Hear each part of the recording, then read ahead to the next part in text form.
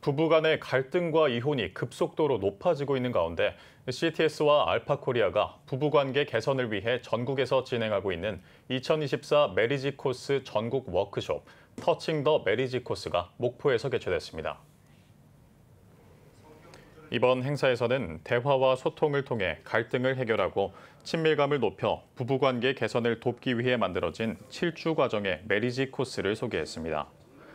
Marriage Course는 교육 자료인 guest journal과 영상을 통해 어느 교회나 쉽게 운영할 수 있는 프로그램으로 기독교 가치관을 담고 있으나 비신자 부부도 참여할 수 있어 전도용으로 목회자들의 관심을 모았습니다.